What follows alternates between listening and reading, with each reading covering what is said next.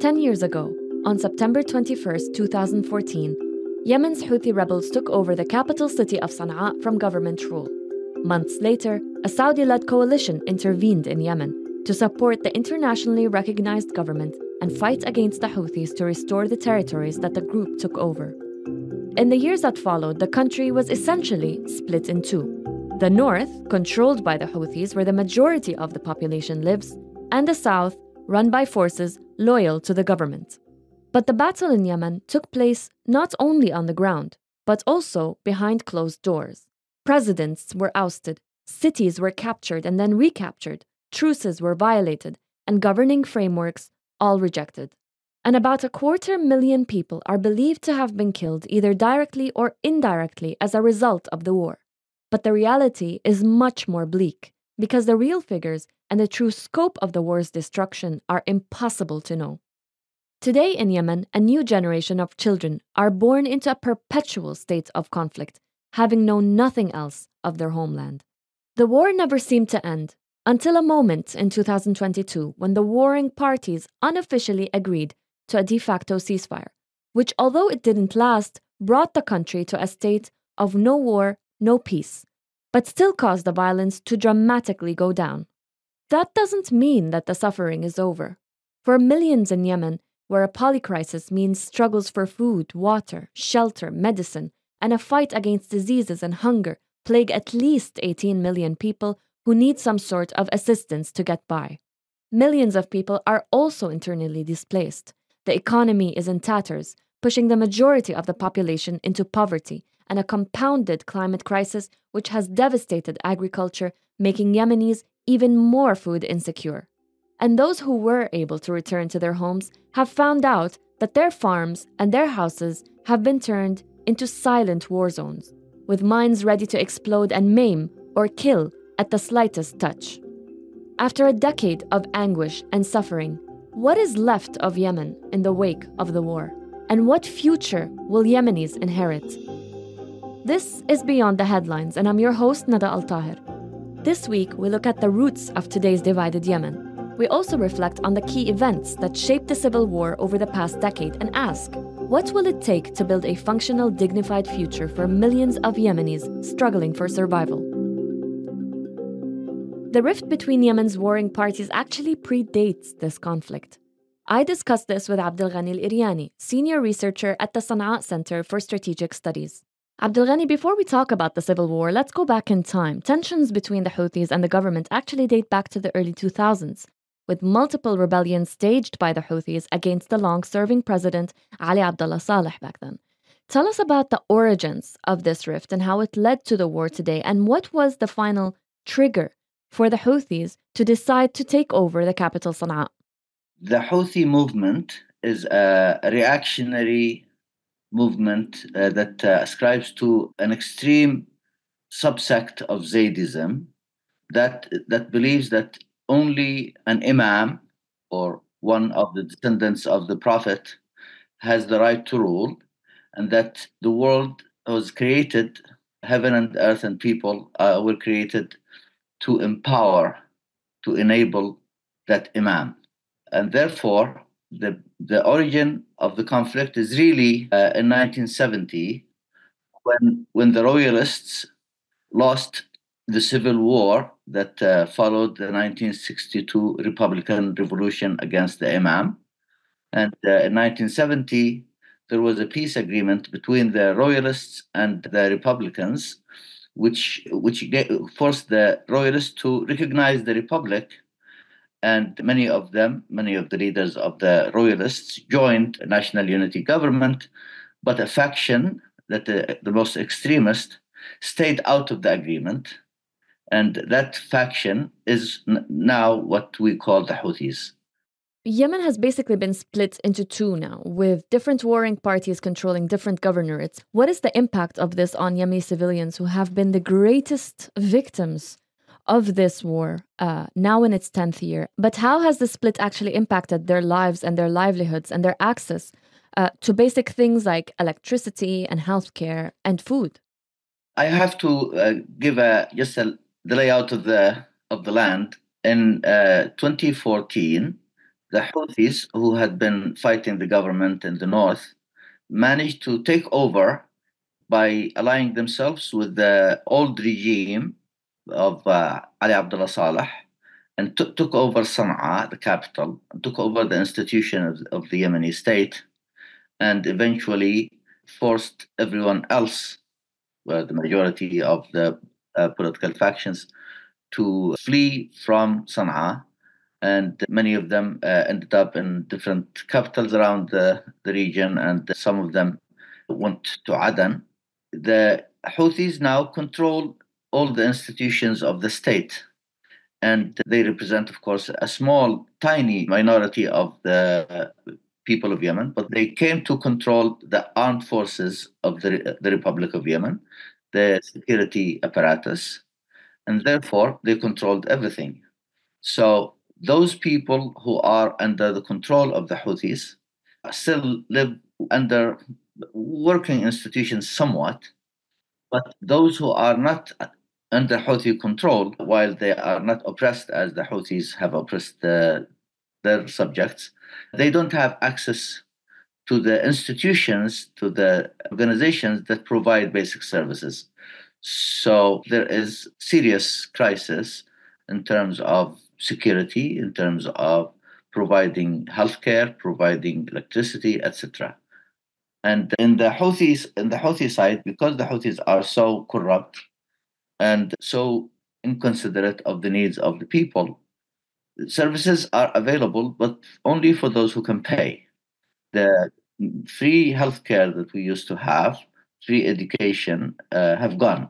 Electricity in the Houthi areas uh, costs 20 times the price of electricity that used to be and the price of electricity in non uh, Houthi controlled areas.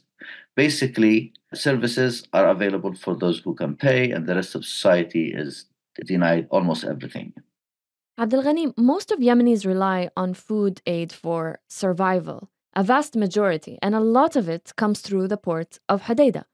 That port itself is a tricky but strategic facility for the millions of people who rely on it for their own survival. What can you tell us about the port of Hodeidah? And how has the war actually shaped and impacted the way that aid is brought in through it? There are three major ports in Yemen. There are two Hodeidah ports. One is for container traffic and oil and fuel, another for foodstuff like uh, cereals and grains and so on. The Houthis control both.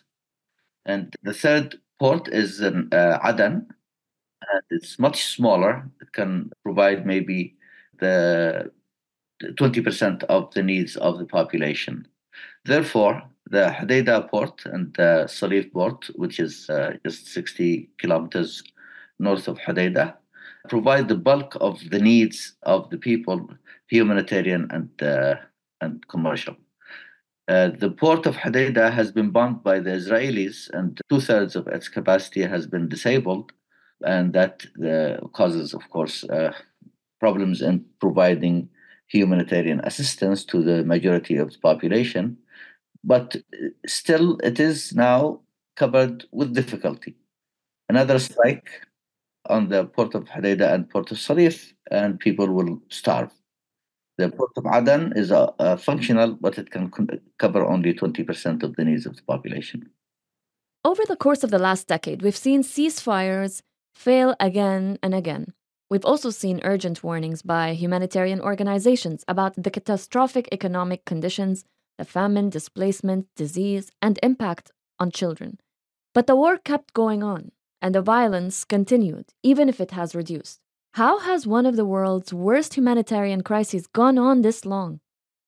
War usually creates uh, profit opportunities for those who are engaged in it. And I think the profit and the war economy have been the reason that this war continued for the past 10 years. And, and, and uh, th- that is why it hasn't stopped, because those who are working, who are uh, engaged in it, are benefiting from it. Unfortunately, there hasn't been any effort uh, from the international community or from the UN to deal with this very critical issue of profiteering and the war economy. And therefore, no matter what people say uh, that they have interest in ending this war, they will not end it until the profit stream stops. There has been a period of relative calm since an unofficial truce was brokered a couple of years ago. But the war is still not over, and now, with the Houthis attacking vessels in the Red Sea over the war in Gaza, chances of a true ceasefire seem even further away. How have the Houthi attacks in the Red Sea actually impacted the prospects for peace? Actually, they have, contrary to uh, conventional wisdom, I think that they have increased the chances of, of peace. And I'll tell you why. Uh, prior to October 7, the Houthis and the Saudis have been negotiating to end the conflict between them and not really ending the conflict in Yemen. Uh, in fact, during the ceasefire, hostilities between the Saudis and the Houthis have stopped, but hostilities between Yemenis had not. If the Saudis step out of the conflict, then the anti Houthi camp will become so weak so that if, as per uh, the plan of the Saudis, that Yemenis after Saudi Arabia exits the conflict will then go to negotiations, the Houthis will not give anything to the other side because of the extreme imbalance of power between the two sides. And therefore, some parties in the, in the uh, anti Houthi camp may surrender to the Houthis, but others, especially in the south, will never surrender because they cannot accept Houthi leadership, uh, given how vicious the Houthis are, given the long-standing grievances of the south against control but from Sana'a, and given the fact that the south, the Houthis are so horrible in governance, their state would eventually collapse. It has no no foundation economically, and therefore Yemen would be in some something like Somali the Somali situation, where there are warlords here and there controlling bits and pieces of the country. Most of the country is in chaos. The attack on, of the Houthis in the Red Sea made it possible for people who call for a durable peace to point out to the Saudis and to the West that uh, the Houthis are not just a Yemeni problem. They are a problem for the world and therefore you cannot allow them to control uh, parts of Yemen to the exclusion of others. You cannot allow them to be to continue unchecked. The only way that you can check them and prevent them from carrying out rogue attacks, although I have to uh, admit that I admire the Houthi stand uh, with the people of Gaza, but uh, attacking civilian ships is just not uh, an acceptable uh, international practice. And there's only one way to stop the Houthis from carrying out such practices, and that is to uh, get them to a power sharing agreement with other Yemeni parties that are moderate and that are responsible and that would care uh, about Yemen's standing internationally, and therefore would be able to uh, stop the Houthis from carrying out, out such attacks. Abdul Ghani, can you give us your closing thoughts on what Yemen will look like in 10 years, in your opinion? Well, it's all up in the air. There is a path. If we follow a narrow and straight path towards restoration of stability, Yemen will have restored its institutions and will have taken the first steps towards building its economy. And that narrow path requires two key prerequisites. The first is to restore, to, to address the imbalance of power between the government and the Houthis. The Houthis are now much more powerful than the government, and therefore they will not enter into power sharing agreement with, with the government. The second is to have a unified strategic stand by the coalition and by the international community in support of unifying the leadership of the, of the government so that the government can negotiate effectively with the Houthis and bring uh, a peace agreement to reality. That's it for Beyond the Headlines for this week. Follow our coverage on Yemen at thenationalnews.com. This episode was produced by Ban Barkawi. Yasmin Al Taji is our assistant producer, and Da'a Farid is our editor. And I'm your host, Nada AlTaher.